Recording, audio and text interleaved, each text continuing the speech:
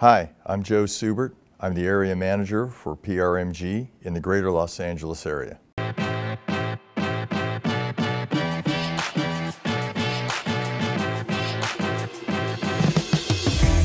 I chose PRMG because I was recruited by Stan Bergam and Baron O'Brien, who I knew from previous employment.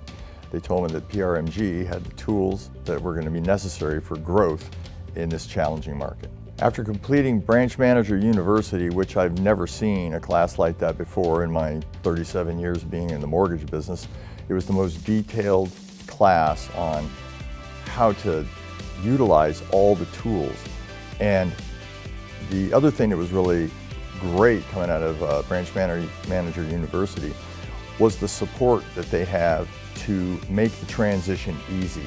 I've never seen anybody with a platform that was structured completely around the loan originator and uh, the ease of transition so that they can hit the ground running and be successful right out of the gate. A lot of people say change is hard. Is change hard? Is it harder to stay where you're at or is it harder to start fresh?